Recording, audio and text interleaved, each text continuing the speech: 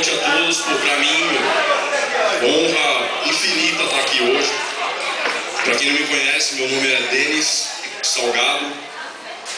E a honra é infinita porque, além de ser o primeiro show que eu venho fazendo com banda hoje, né?